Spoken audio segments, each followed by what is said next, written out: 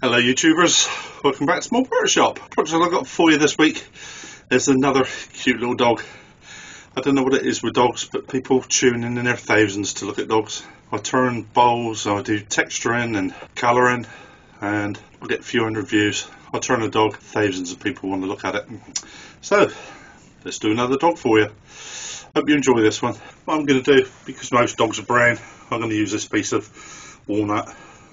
It's pretty much the outside piece. It's quite light in colour. It's not that beautiful dark heartwood. It's some of the lighter outer wood. But even so, I think it's still quite attractive. There's still some quite nice grain running through there. So this is a piece I'm going to use today. So I've got a piece of walnut sat up between centres and the first thing I need to do is just go through and knock the corners off. Get it into a nice round shape. Just going through my roughing gouge and just taking that down. That's uh, plenty big enough for what I want so I don't have to worry too much about uh, getting in the size.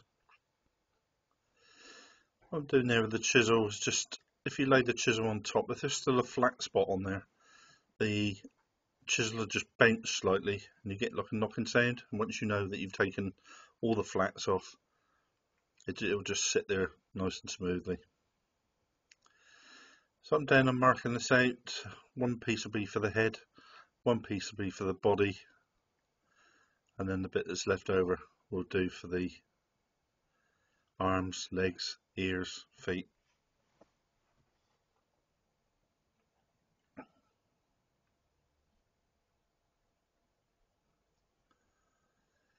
So I'm going to concentrate on first, just doing the head and doing the body.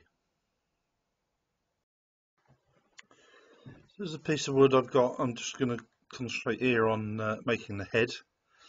Uh, the piece I'm turning there will be the snout for the dog, his nose.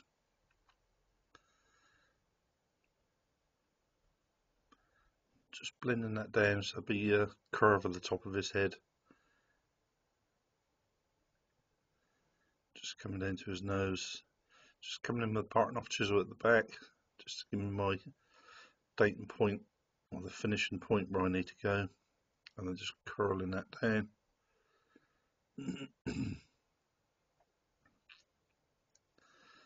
But my 3 8 skewed uh, 3 8 spindle gouge there I always use for that sort of work. So that's pretty much shape. It really is as easy as that, as quick as that. And I just need to sand that down now and I'll just sand that down through from that's all sand down nicely sand down to 400 it's got a lovely finish off at walnut. And I will as I do with all of my dogs give them a nice black nose.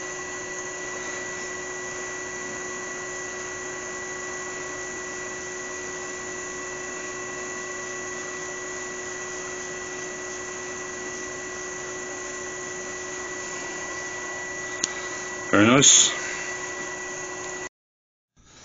uh, the other thing I just want to do now, just find the top of his head and just mark his eyes.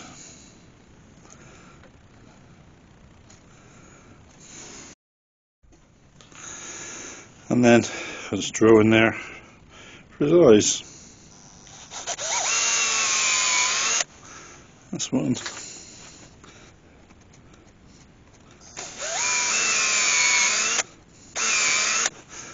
The one.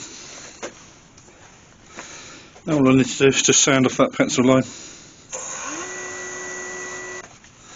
A little bit of sand sealer.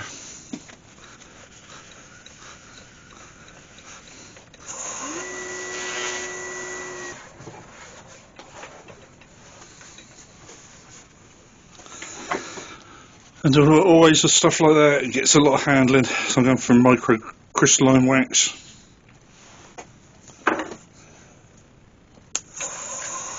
A lot more resistant to those greasy little fingers.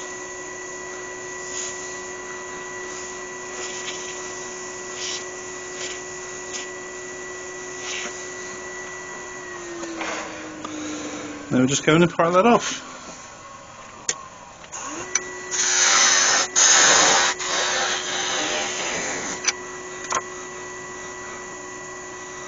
Have one head. So this is going to be the body. All I want for this is like a rugby ball shape.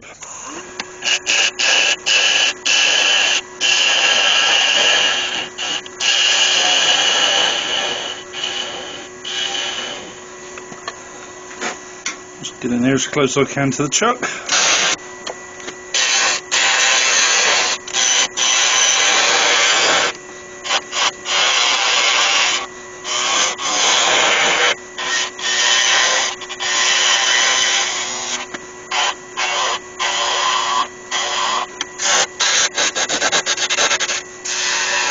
Quite like that.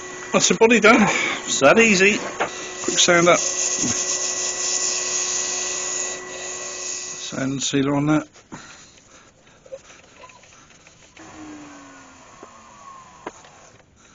And then micro crystalline. That's the body done. Let's prattle it off. Beautiful. I want it's two legs, two arms.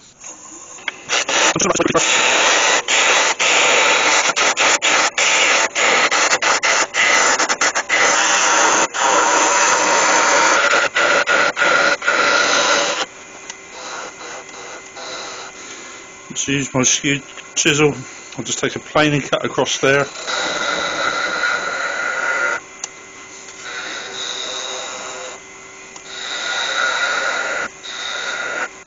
Obviously I need to drill into the body, so I've that drill, I think they're probably big enough. Size I want. Quick bit of sand sealer, quick bit of wax. What I'm going to do is just gonna cut that in half. I'm not sure how long I want that yet. 70 mil, 35 mil.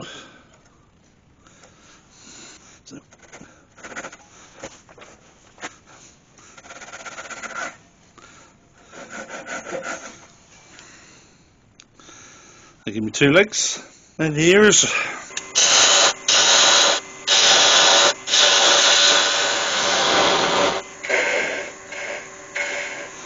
I want these to be in proportion to the head, but I want a sort of uh, teardrop shape. I want them to be there, I think.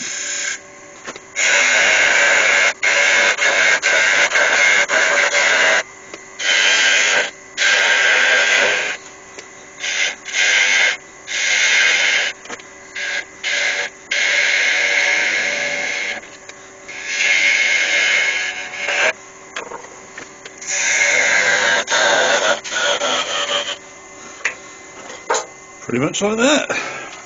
Just another quick sanding.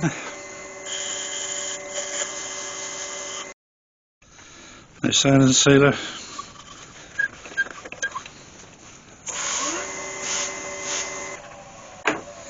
With the microcrystalline. And I'm just going to take that over onto the bandsaw and just cut that in half. And that's the ears finished, I just need to move on to the feet. So first off I need to lose quite a bit of that thickness.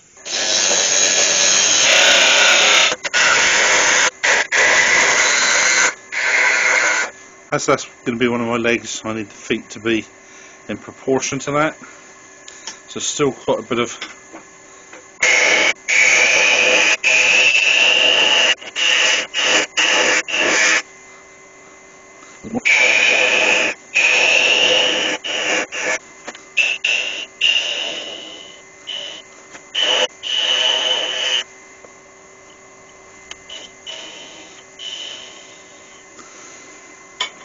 pretty good, like that.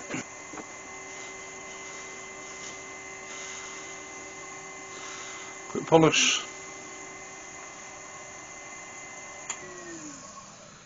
I'll just take that over onto the bandsaw. All I have in there is a scrap piece of wood. And all I need to do, put a small hole in there.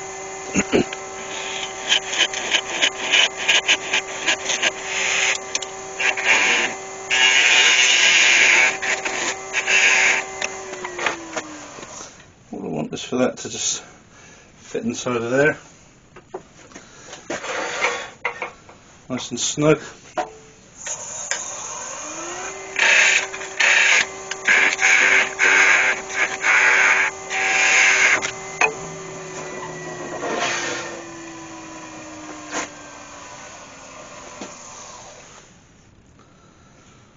That's perfect.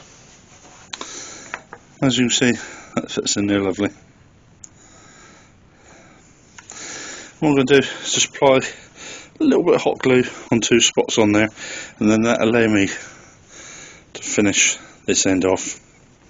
I can sand it down, put a sand sealer, put the wax on so it'll all be exactly the same.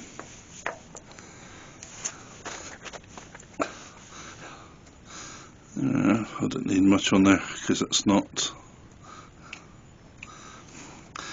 I'm only going to sand that I'm not going to cut it so it's not there's going to be a great deal of pressure put on there.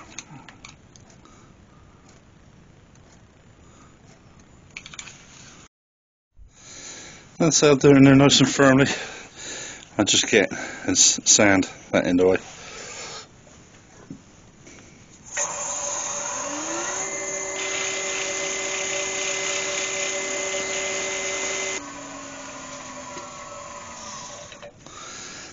little bit of sand sealer.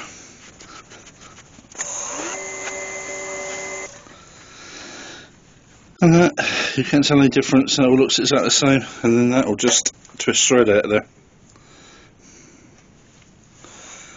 And that really does annoy me when I see people who don't do that.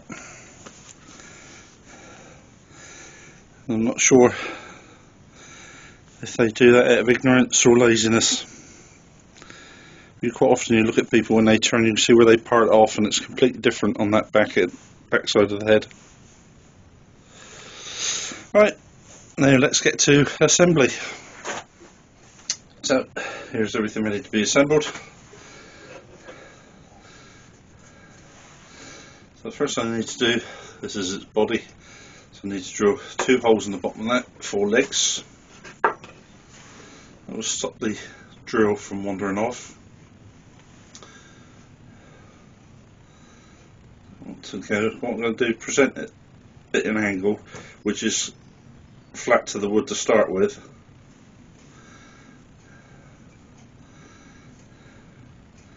And then what I do once I get it started, I can bring it around and go at an angle like that.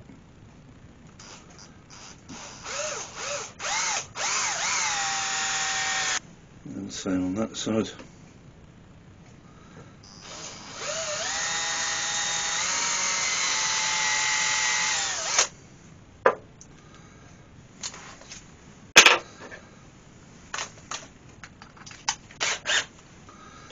then I'll just drill two holes in there, do exactly the same, come at an angle.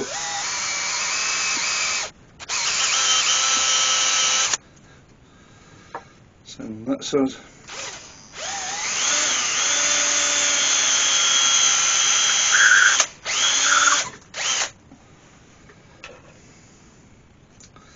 So that's nice fit in there. That's a nice fit in there.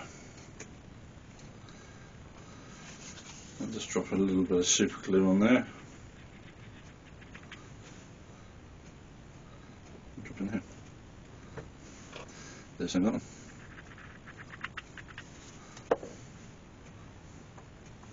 Let's put that to one side to dry. Now that's the head. And I'm just going to put a couple of eyes in there.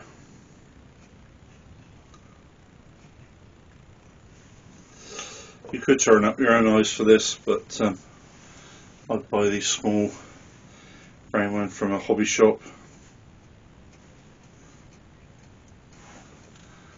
They just drop in there, they're lovely. And these can be the ears, so I'm going to drill a small hole in the top of them.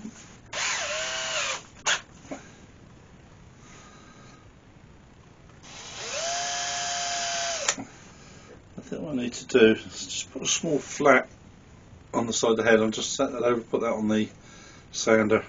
Just put a small flat on either side. Next I want to fit the feet to the legs and to do that I'm just going to drill a small pilot hole in there to start with and then because that piece of wood is so small I'm going to clamp that to the bench and then just drill the big, bigger hole in there just so that those legs just drop straight in there and then just add a little bit of super glue just to make sure they don't come out again.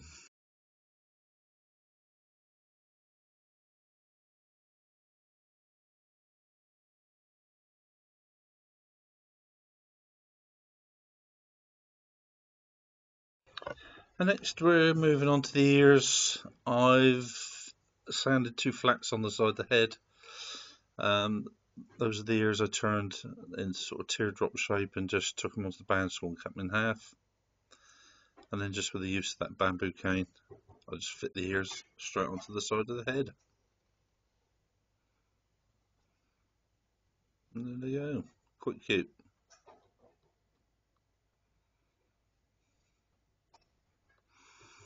So that's the head finished.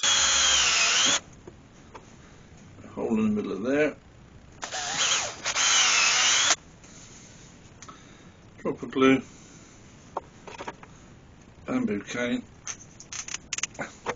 Snip it off. Bit of glue.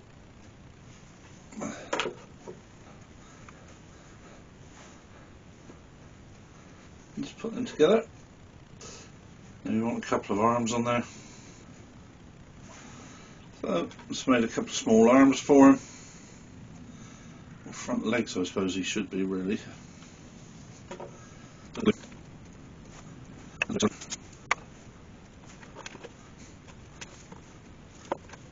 And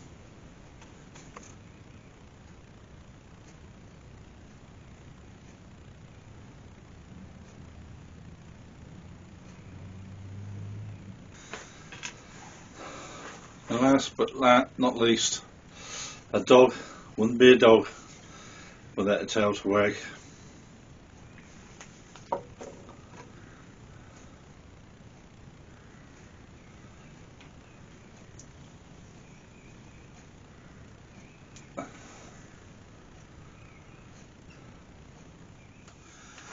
Well, there we go YouTubers, another beautiful little dog.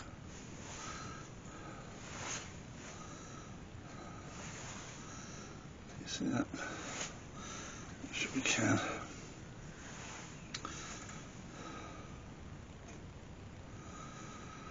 It's funny though, because the actual head and the body, that took me no time.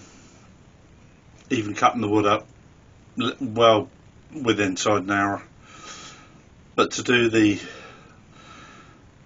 feet, the legs, the arms, the ears, and the tail, took me easily twice as long to do that. That is somebody's law that you can do 95% of the work and 5% of the time. The other 5% of the work takes you 95% of the time. I'm not sure whose law that is. If somebody does, leave me a little comment in the bottom. I bet you know, Mike. So there we go. Good fun project. Really fun to do. I'm sure that's another one my grandchildren snaffle up as soon as they get up indoors. Well, thank you all very much for watching. I've been Steve Howell. I've another great day down in my workshop. Thank you all. You take care of yourself. Bye bye.